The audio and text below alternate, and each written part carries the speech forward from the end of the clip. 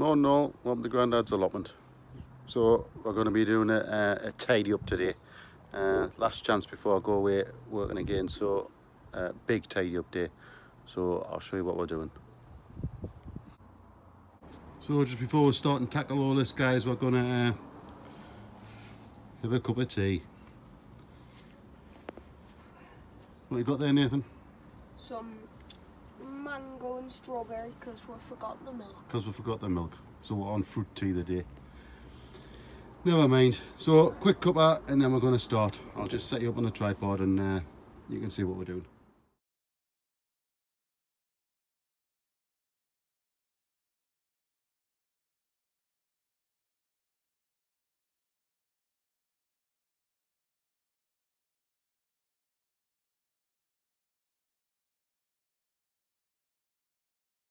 Right guys, hope that was quite short, but we've still got another half to do.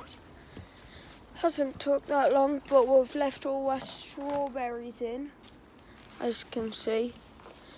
But I'm gonna move yours to the other side so you can see all the other side getting done.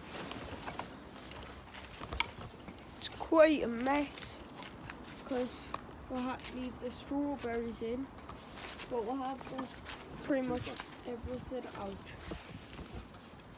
So I'll this here and put yours back on time lapse. See you in a bit.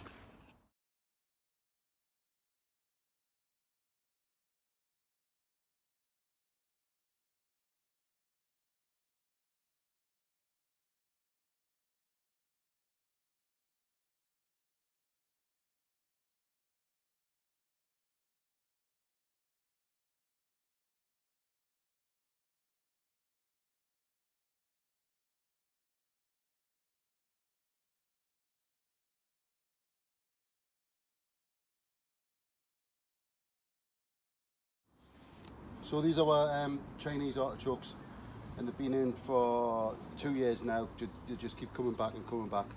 Um, get rid of them. So they're coming out this year for good. So, you know, if you can see them, look like little maggots. But that's what that's what artichokes. These are part of the potato family, aren't they? Uh, artichoke. Artichoke family. Artichoke. So yeah, I need to get as much of the out as I can in this bed. Because otherwise, if you leave any in, I, I like potatoes, if you leave, uh, leave anything in, they'll just, they'll just uh, keep growing.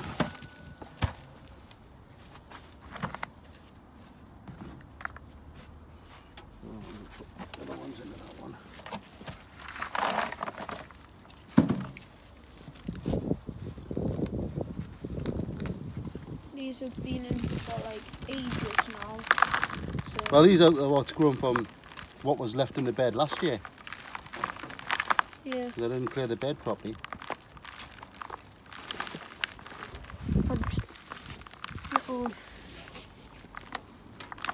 Look Like maggots, don't they? yeah, looking things.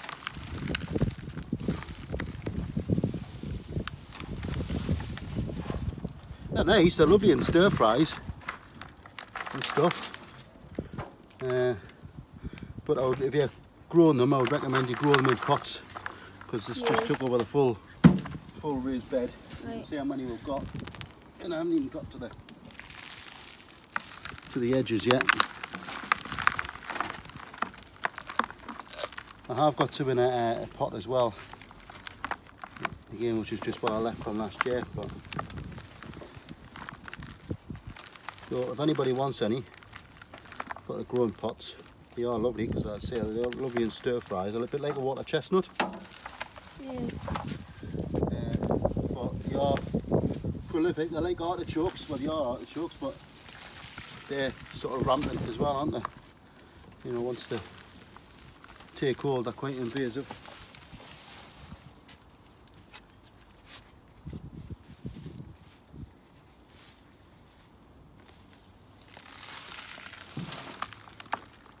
They are quite annoying to just be there and like Yeah, they take a Yeah, full year yeah. to go, like, don't they? take ages to grow. You only harvest them in winter when the um, when the, the leaves and that start to die back.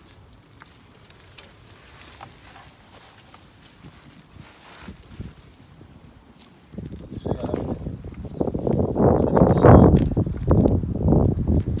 is, Take years Yeah. around.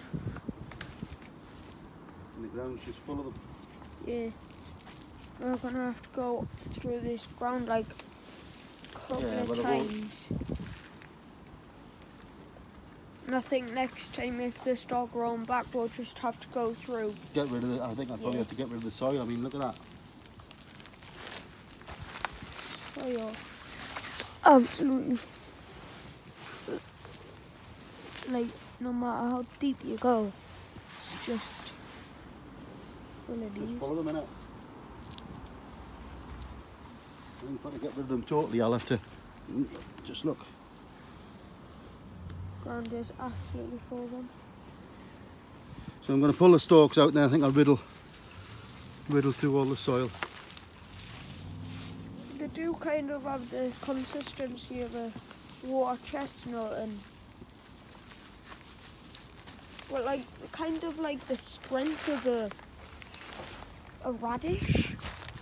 Right, guys, it's just starting to rain, so we're going to head off inside. But I'll quickly show you before it gets too too much. Done. See, we've cleared all the beds here. We've got we've got to sweep up and stuff, but we'll get that at a later date. Uh,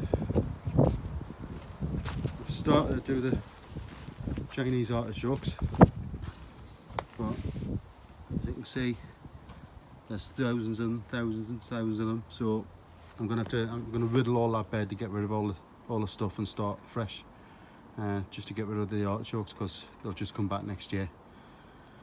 But yeah, we've, we've made a dent.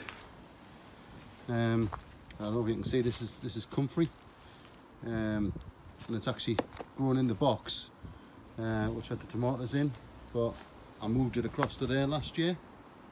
The two boxes were here and actually grown it's grown underneath the mem- membrane and coming through the membrane. So I tried to contain it by putting it in the boxes, but I'll have to do. Uh, this is my horseradish, which is next to come out next time I'm here. The horseradish and the Jerusalem artichoke, because although they look nice, they never get used, and it's just a waste of a bed. Um, and then the the flowers will start come up, the, the dahlias and, and stuff like that. I'm gonna have to head in because I'm getting wet here. Um, that's me, my blueberry cuttings. They're starting to take take hold. Right, I'm gonna head into the shed because it's, gonna start and chuck down. Sorry, I'm running. Right, so just come in the shed. Nathan's getting his pot noodle. So this is what we've, we've picked. Sorry about the light, but uh, starting to get dark now. So these are just some of the beans and the, the, the beans for, for drying off the borlottis. Um, I'll bring these across, across into the light a bit so you can see them. So these are our, our walking onions. So they are the top setting onions. So I'm going to plant some of them up. I've got, I've got some soil, I'm just going to plant some of them up. Uh, seeing as it's raining, I'll show you. You can see, but it's chucking it out. I don't know if you can pick it up.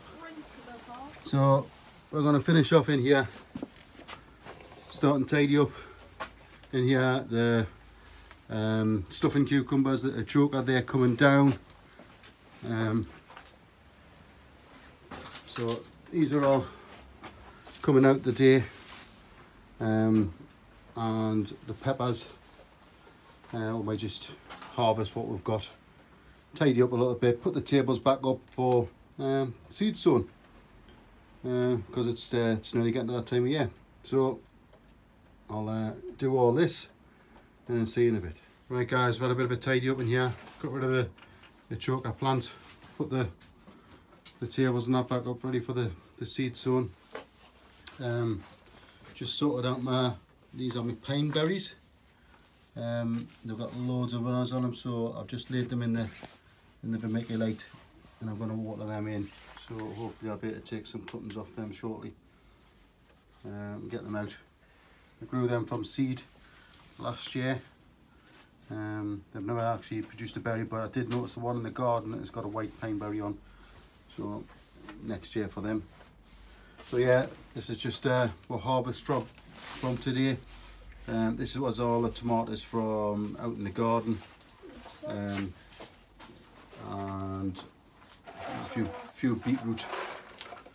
Uh, and this is the seed seed so we've got um, uh, what other the purple uh, they're the purple potted uh, green, uh, be, Beans. runner beans. Um, and they're the oh what they called again other beans Can't remember. Oriental. No, that's what they were. Peppers. I'm just going to pull these now. Um, we might water them for the last time and leave them and see if they actually overwinter, but I don't hold any hopes because it gets too cold up here. So yeah, we got caught out by the rain, um, so we've had to stop and we've done canny bit, so we're going to head off home. See you later.